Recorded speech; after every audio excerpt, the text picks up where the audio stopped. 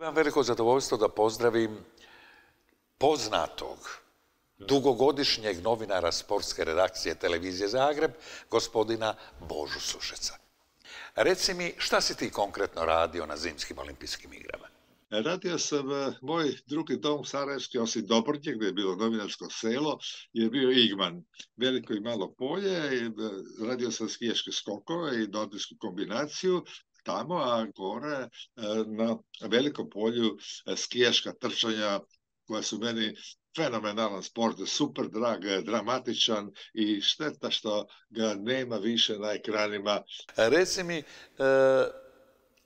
osjećaj tvoj sada, nakon 40 godina, kako je bilo u Sarajevu biti novinar, izvještavati za, ne samo za našu televiziju, već družiti se s kolegama.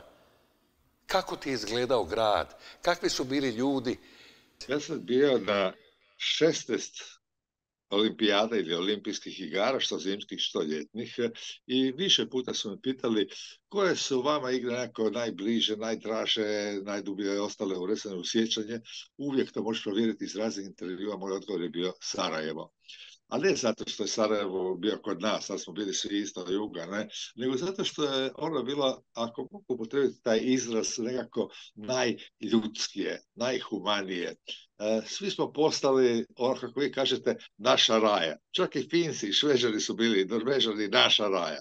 raja Svi su znali šta znači, šta znači onaj vaš čuveni izraz riješit ćemo, nema problema. Nema problema. Problema je bilo koliko hoćeš, ne? ali sve se rješavalo. I to je bila e, jedina olimpijada između dvije političke olimpijade ljetne, Moskovske i Los Angeleske, koja nije bila toliko političke bojena. Zato da su i Moskva i Los Angeles bili uh, bojkotirani od mnogih zemalja, jedne od istočnog bloka, jedne od Amerike i njenih prijatelja.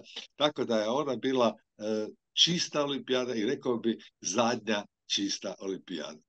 Ali sada ti kažeš, ono što sam ja govorio, ja sam samo govorio ono što osjećam iz srca, ali bi slično ti odgovarao i neki moji prijatelji, danas kolega, što se, kad se već spomenuo da smo iz Finske, iz Norveške, iz Švedske, svi oni kad su se kasnije negdje sretali su kaži, oj, nema problema, nema problema, to je bila ta čuvena uzrečica, tako da, e, su svima, ne meni, nego svima koji su bili tamo iz Sarajeva ostalo duboko, duboko urezano u pamćenje, u dušu, u srce, kako god hoćeš.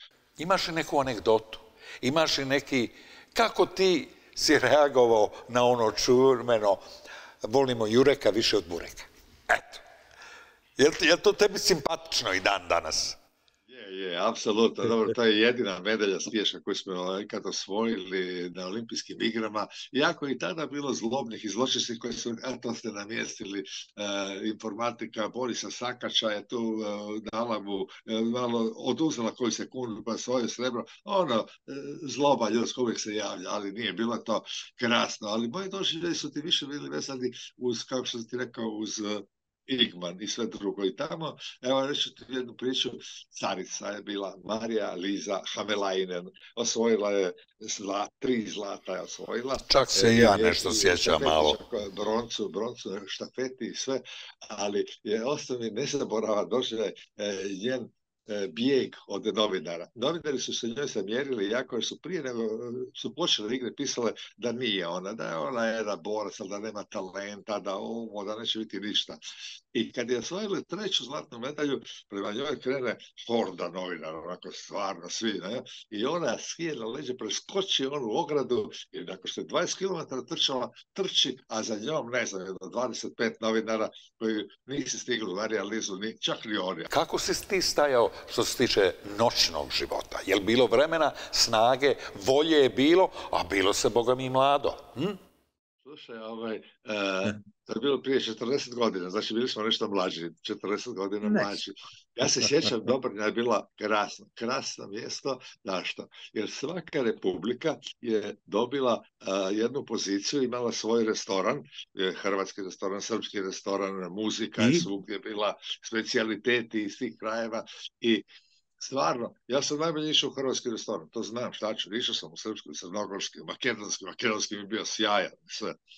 I tako smo se družili i ne malo puta sad sa vremenskom distancom sastojanje kad je to ušlo u zastaru, mogu priznati da nekoliko puta sam kretao e, na Igman, a Igmanu su e, jutarnja natjecanja počinjalo u 9 sati, dakle moraš krenuti u noći praktično, bio je mrtli mrak u zoru, prije zore smo kretali iz Dobrinja, da su me društvo moji panta najčešće ispraćali sa muzikom na autobus da se ukrcam i da krenem na, na Igman gore. Božo, sve najbolje u životu, pozdrav e, familiji, slušam te, još uvijek radiš, a i sina tvog kao komentatora. Veliki pozdrav iz Sarajeva, Boži Sušecu i gradu Zagrebu. Hvala lijepo.